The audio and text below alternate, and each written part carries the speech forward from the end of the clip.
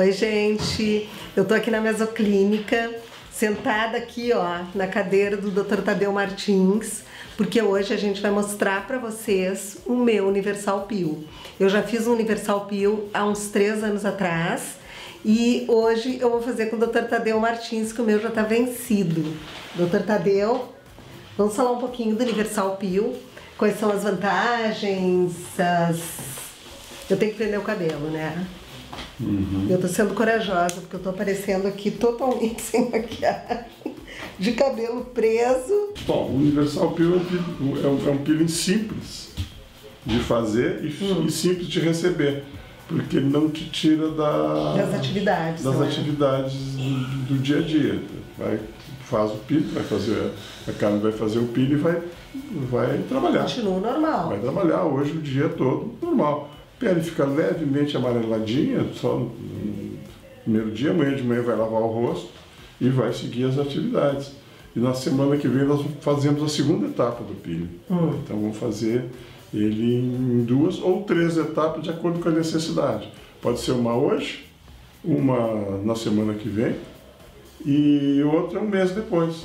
E Se nós fizermos três, nós estamos fazendo um peeling, um peeling É, profundo. da outra vez que eu fiz, eu fiz duas, Fizesse né? duas, mas exato. também foi há três anos atrás. Exato. três anos nas costas a mais, É, faz diferença. Mas não, não vai, não, não vai fazer. Então, três.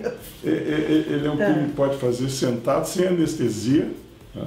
É, nós vamos fazer uma pequena limpeza na pele com, com acetona e álcool. Eu vim totalmente sem maquiagem, com o Totalmente rosto sem lavado. maquiagem, exatamente, tem que ser. E depois nós vamos passar com cotonete, a gente passa o material do peeling, passa um creme por cima para estabilizador e ela vai para casa. Tá?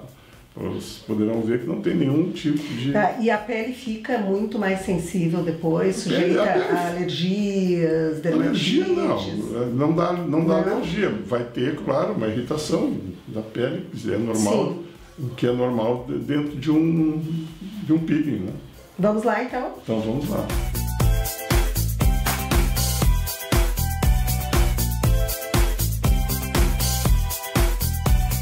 Ele é aplicado com cotonete. cotonete, tem que ser uma camadinha bem fininha, o cotonete é rolado sobre a pele.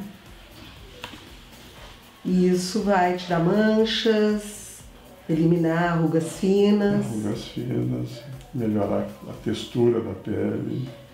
Sim, a qualidade da pele fica outra, né?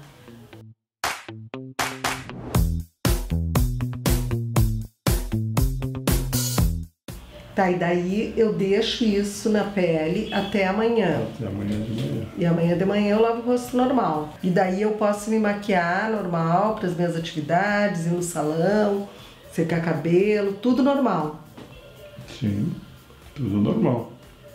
Pode secar cabelo, desde que não. não claro Sim, que eu vou botar o secador no tem rosto. que desviar um pouquinho do rosto. Ah, agora a gente coloca Hum. o creme está Então já acabou a aplicação. já acabou a aplicação. Viram como vamos- rápido? Nós vamos colocar um creme estabilizador.